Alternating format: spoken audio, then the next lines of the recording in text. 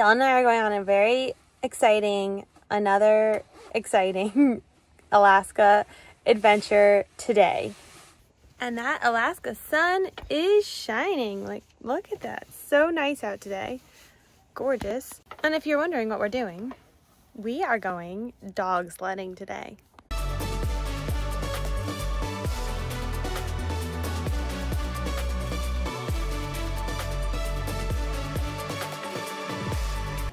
Ready to leave for our dog sledding tour. Did the briefing, which we did the other day for glacier paddleboarding. The whole operation. People are getting married. People are going on different tours. They're in and out. They weigh you. They do the safety briefing, and then you get on the helicopter. After our quick safety briefing, it was time to head to the helicopters. We had already taken these helicopters last week with glacier paddleboarding, and we had the same pilot, who's one of our favorites. It's such a magical ride as it lifts up, up over the lodge and then across the mountains. Along the way, you might see bears and moose and waterfalls. This was an even more scenic ride than our one to glacier paddleboarding. There you can see the glacier we went to last time, and then we traveled further to Cascade Glacier, which is in the top of the mountains. The dog sleds live in this remote location for the entire summer so that they don't get too hot. These dogs are owned by Dallas. He's a five time Iditarod winner. In fact, he was the youngest Iditarod winner and he's won the most times of anyone. He has all of these dogs that he uses to train for the Iditarod. All of these dogs have either been in the Iditarod or have even won the Iditarod.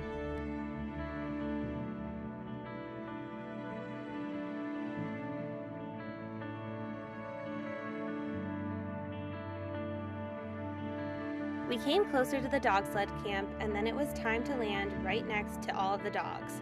There, when we landed, we got a quick briefing on how to work the dog sleds before it was time to set off on our adventure. In the back here, and someone will be driving this sled. Your guide will be driving this sled right here.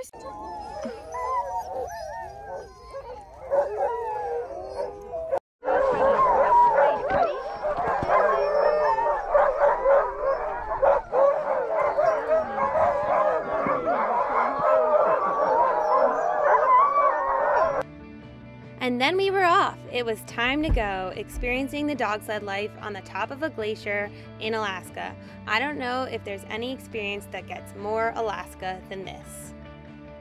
The dogs go fast enough where you feel like you're getting a little pull, but at the same time, you can take in all the scenery and really enjoy learning about these beautiful dogs. We had such a good time up there on the glacier.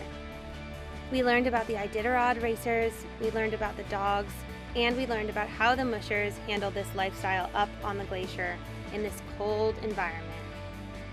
We were having such a good time, and I highly recommend taking one of these tours so that you can truly experience one of the most unique things there is to do in Alaska. After about a two mile ride, we ended up back at home where we got to hang out with the dogs that pushed us and pulled us and meet the new puppies who are going to train for the Iditarod in the future. They were just so cute. That might have been my favorite part of all. Then we got to go see where the dog mushers stay during the summer. Here you can see their small huts with the warm sleeping bags and all of the supplies that they have to fly up to eat and live on this glacier. And before you knew it, it was time to head back to home base. But first, a stunning helicopter ride to get there. Along the way, we saw three different moose and we got to skim low above the glacier pool that we had paddleboarded in just the week before. It was magic. Make sure to like and subscribe so you can follow along on all of our future Alaska adventures.